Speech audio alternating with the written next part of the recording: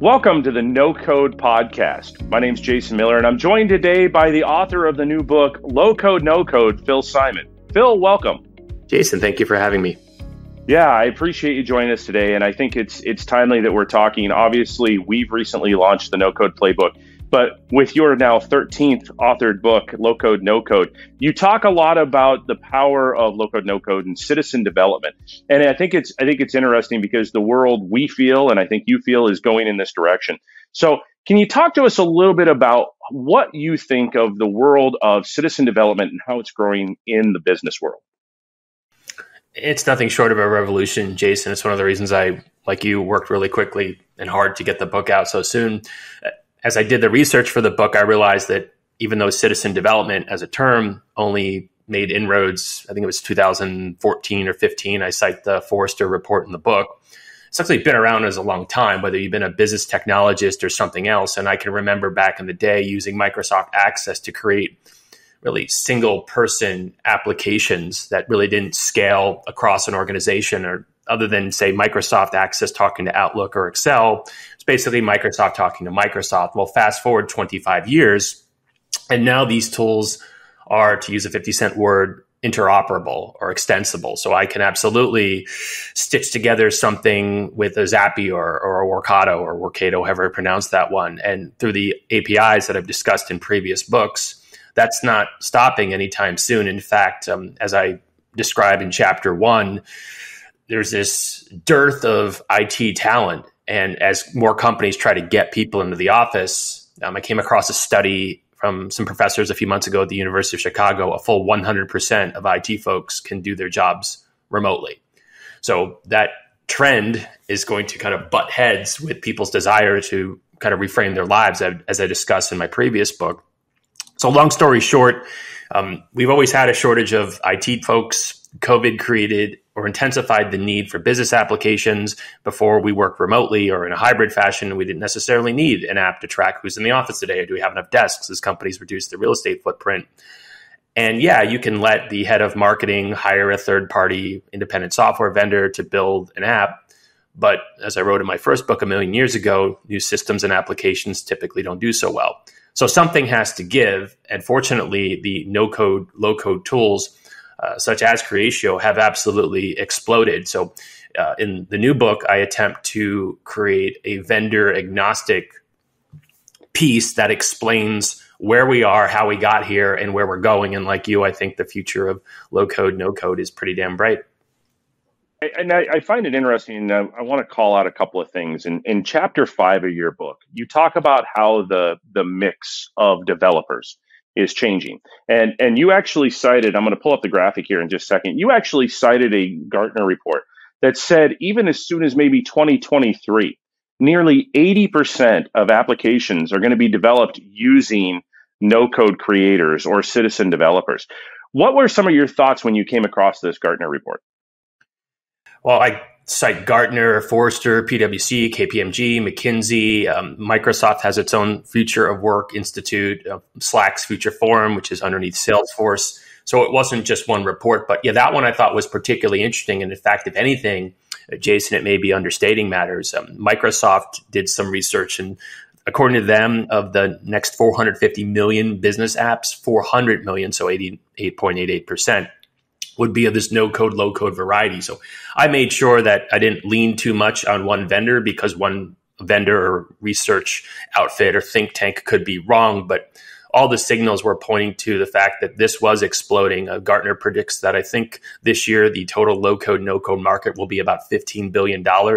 And even though that doesn't compare to ERP or security or cloud computing, um, I think it was Einstein who said that uh, the most powerful uh, law in the universe is exponential growth. So if things are growing that fast, pretty soon it will be 50 or 80 or 100 billion dollars. So there's no doubt in my mind that as the tools become more powerful and companies attempt to roll out new technologies, yeah, I mean the low code, no code tools really do solve in many cases a long-standing business problem, as you know, this IT business divide. Right? If I had a nickel for every time I worked on a project, in which case the IT people thought X and the business folks thought Y, um, I'd be buying both of us uh, a nice lunch. Um, so the fact that you can have these citizen developers who know marketing, payroll, finance, sales, operations, whatever, a lot better than folks and don't have the time or the desire to write out these detailed requirements that are going to take three to six months to get deployed when you can basically build an app, as I write in the book, in a few hours or a few days, depending on the complexity and if you know what you're doing. I just I fail to see how, even though we can talk about some of the downsides of low code, no code development, I fail to see how the general trend is not incredibly uh, up and to the right, hockey stick like, if you will. Yeah, and, and that brings up a couple of interesting topics. So in, in the no code playbook that was authored by Katherine and, and Burley, they talk about how to assess some of that complexity and how to build fusion teams. So that mix of IT professional developers as well as citizen developers to help achieve, call it the the, the best outcome possible. And I, I think you also called it out in chapter five of your book, which was the the virtuous life cycle or, or the continuing cycle of of no code development when it comes to why folks are choosing it. And I'll throw in the next graphic up here a little bit. And can you talk to us a little bit about when you see this this virtual life cycle of just constant improvement and constant um, gains that are done through the use of low code, no code? What were some of the things you were thinking about when you were putting this together? I've spent a long time, Jason, as a consultant, uh, helping companies implement and build different systems in different capacities, vendor assessment um, or evaluation, that type of thing. And I've seen many a skeptical CIO who was maybe pushing 60 and retirement was five years away and basically ain't broke, don't fix it. I, I don't want to risk my retirement or my stock options or security bonus, whatever. Um, so, to the extent that there is citizen development taking place in some cases because of shadow IT, whether people know it or not, um, they might say, well, I'm not really keen on that type of thing, really, because we've been doing it for two months and it's been really successful. So you may see this sort of ground up uh, movement towards it as opposed to uh, sort of top down. So it, it's happening whether people realize it or not. I think that as I did the research, I discovered that more CIOs were saying, okay, look, if you're not going to call us and you're going to work with these approved vendors, and you're going to support it and train people and not open support tickets because we don't have the bandwidth to address the apps that we currently have, then hey, go with God. Uh, again, it was just another data point that, yeah, there are going to be organizations, and I cover this in, I think it's chapter eight, that adopt different philosophies. So my friend Lowell uh, Vandekamp works at an ed tech startup here in Arizona where I live. And we had a discussion over lunch when I was formulating the book about how it's a, exclusively a Microsoft shop right? They don't want to deal with any vendors. And they know that if Microsoft is late on a particular feature, a particular app, like for example, it's um, App Loop, which is its kind of knockoff for Almanac or Notion or some of these other Google Docs on steroids type tools, they're fine with that. But another organization might say, no, we'll, we'll adopt or bless or sanction three to four tools. In some companies, mm-hmm. it's basically do whatever you want. It's anarchy, it's laissez faire. In other companies, it's no, you can't use anything. We're going to lock it down for whatever reason. So, you know, the idea that there was one approach to no code, low code, I think is, is very much in keeping. And, and it's interesting knowing a decent amount about your playbook. I, I do think that um, we agree 90% of the time, but it was such a vast area and moving so quickly that there's no way for a book to cover everything. So while I don't advance a proper maturity model or breaking down teams or detailing how you should have two citizen developers for every one proper developer, um, other books, I'm sure, because we're just getting started, as you know, will address those types of things, and I can't wait to read them. Yeah, and and it's kind of interesting. You bring up a couple of points, right? The the one the one idea that some folks say that one no code low code platform or one vendor should be used for everything. Um, was talking recently with Phil Laskin, another no code evangelist um, out there, and and his take is a little bit that there is no single right tool for everything, and I think that that is also possible, you know, partially true. I think that there's two major factors, and, and get your points on this one. Number one is that regardless of whether you adopt the single application suite approach, or in your in your book you talk about it as an application set or, or a suite, whether you take that approach or you take a more broad approach, as Phil talks about, Phil Laskin, excuse me. Um, I think there's important things that people need to think about, and they're always worried about. One, governance and structure, and two is making sure that whatever technology you're you're approaching it has a certain set of tools that can enable the users to achieve outcomes. Do you agree with that? What, what are your thoughts? Yeah, so there's a lot to unpack there. So I'll, address the first point first. Um, I intentionally avoided governance in any kind of depth because there is this inherent tension. Right? If I'm saying we have to govern it, right, there needs to be some centralized body that's overlooking things, and that fundamentally conflicts with this notion of democratized app development. And one of the major benefits, as you know, of citizen development is that you can let people kind of do what they do without going through all the channels and PMOs and all that. They can just do what they want to do. Uh, with respect to the tools, I tried really hard to present this in a vendor agnostic way. In fact, the hardest chapter that I wrote was was for this overview of the landscape and there's this long disclaimer about how I break things into seven buckets, but it's so tough to do because you know any given tool isn't like well Excel you'd really use for manipulating certain types of data, but if it gets to a certain point, you need access. If it gets to a bigger point, you need SQL Server. Uh, but if it's a Word doc, what are you doing in PowerPoint? Right? You wouldn't really write a book in PowerPoint, although some people actually do to organize their thoughts. So it's for some folks to get around this notion, no pun intended, of an app that just does a single um, a single thing because they evolve. Um, if, in fact, it's funny because I just wrote a post on my site based on um, Notion um, in late November announced that it had added generative AI capabilities, so you can do slash blog post low code tools, and it'll effectively use its engine to spit out a passable blog post or a to do list or something like that.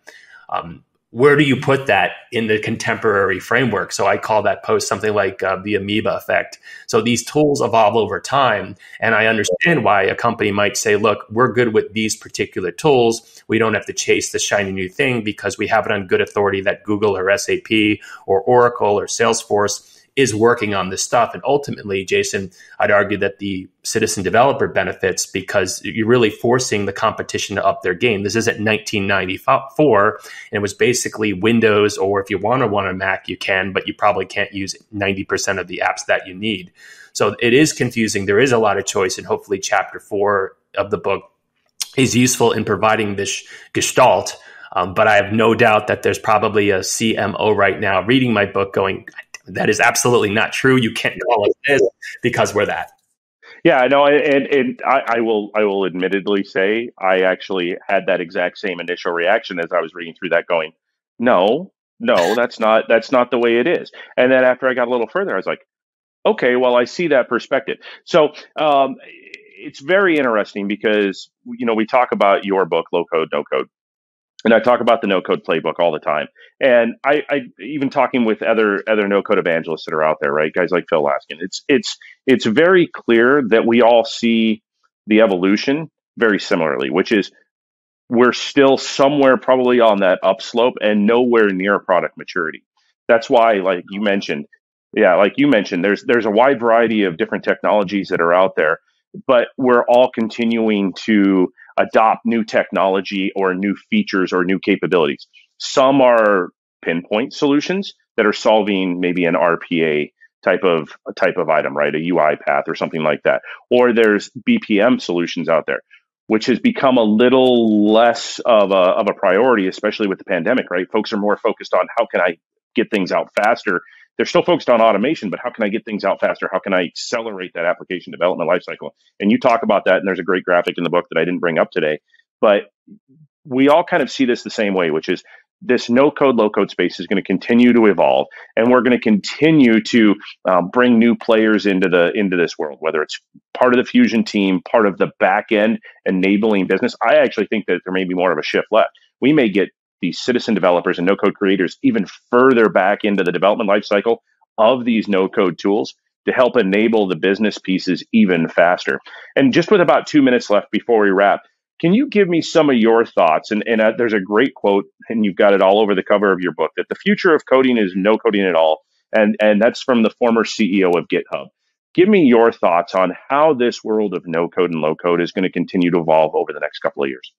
I love that quote so much so that not only does it adorn the front page of my website, but on the hardcover edition of the book, I just put it in 60 point font. Um, you've got the paperback there, but I went even bigger than that one, and just it takes up pretty much the entire back. I just it was kind of memey, but no, I, as I said before, I think the future is incredibly bright. We're going to see consolidation. I intentionally didn't put in one of those eye chart figures about the universe and the vendors in each one because it would have been outdated long before we went to print.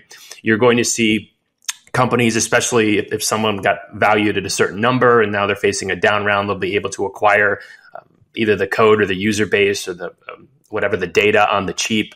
So you know, it's silly for me to think that there will be you know, hundreds or thousands of these vendors around, and that's just the nature of technology. I mean, right now there are probably three to four different uh, cloud service providers that um, take care of 80% of the market. Um, I don't know if we'll ever see that uh, level of um, concentration. But uh, one of the points I make in the book is that if you're evaluating a tool, you want to make sure that, you know, again, no one can predict the future. But if you go to the Facebook page or the YouTube channel and you see basically no one's on it, is that tool, tool going to be around in a while? And there is vendor lock in, irrespective of which tool you're doing. In fact, I make the point in the book that if you're evaluating a new tool, one of the first things you ought to do before you get too deep in is to export the data out. Yeah, you're going to have to rebuild the app. There's no magic convert app button from quote unquote platform A to platform B. But I think it's a bright one, and I think that is a it's a wide tent. So there's plenty of room for a lot of books. And if you're starting a company, I wouldn't think you would just read one book on entrepreneurship. You probably want to read a bunch. So I don't look at other books as, as competition. In fact, I'm really curious to see other people's takes because it's fine that you disagree in part with chapter four, but I think that a rational discussion about an interesting topic is a good thing to have, and, and reasonable people can disagree it's like I said when I first read it, it was like, oh no no no, and then I started to I started to go further and deeper into that chapter, and it was like, okay, yeah, I get that, and and the point that I think that a lot of the no code evangelists like myself and and yourself and Phil Laskin are talking about is the fact that it's still evolving, it's still emerging, and companies are still working on adding more features, trying to get as close as they can to some of the business function, so that they can be successful and and really help enable some of these these companies and in the various business applications that they're trying to do. So, with that, Phil, I thank you for your time today. I look forward to having you on our podcast in the very near future again. And then, for those of you who have any questions, feel free to reach out to us. I also do highly recommend, and I posted a review on this book on Amazon. Go check it out. Both of our both the books, Phil's No Code Low Code, as well as the No Code Playbook, are available on Amazon. I encourage you go check them out, download a copy, get yours today. Phil, thank you again for joining us. Jason, I enjoyed it. Have a good day. Thank you. For those of you who are watching us, I hope you've enjoyed this video. Please don't forget to subscribe to our YouTube channel for more. And for those of you who are listening to us today, I hope you had a great time. Check out our previous episodes on various platforms. The No Code Playbook podcast is available on Apple Podcast, Google Podcasts, Spotify, SoundCloud, and many more. To get more information about our products or services, visit our website at www.creatio.com. And for more insights, check out our no code events page. Hope to see you soon.